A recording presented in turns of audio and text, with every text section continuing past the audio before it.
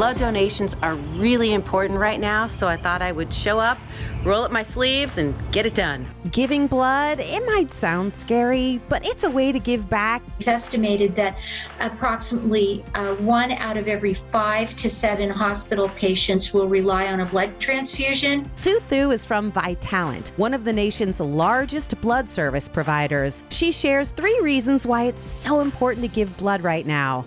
First, According to Sue, it's safer than ever. In the world of COVID 19, we've implemented so many different safety procedures. During the time of donation, it's mandatory to wear a mask and precautions are taken from the very start. Donors' temperatures are taken before they even enter the building. A health history interview and vital sign tests are also taken before a blood donation can happen. It only takes about five to 10 minutes to donate a pint of blood, a very small percentage of your body's blood volume. Next, Donating blood can save up to three lives. Blood is separated into components. She says the components include red blood cells, which can help cancer and leukemia patients, platelets for victims of accidents or those in need of transfusions, and plasma, which can help those fighting COVID 19. Plasma donors, especially those who have recovered from COVID 19, can provide life saving antibodies for people who are undergoing treatment. According to Sue, COVID 19 patients who want to donate have to be recovered for at least 14 days before a donation can happen.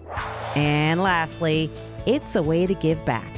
When you give blood, that's an actual person at the other end who is receiving your gift. And although most donors won't get to meet the people they're saving, it can happen. Like it did for this five year old boy from Casa Grande, Arizona. He has a rare blood disorder and was able to meet more than a dozen of the blood donors that helped save their little boy's life. To find a blood donation center near you, visit vitalant.org.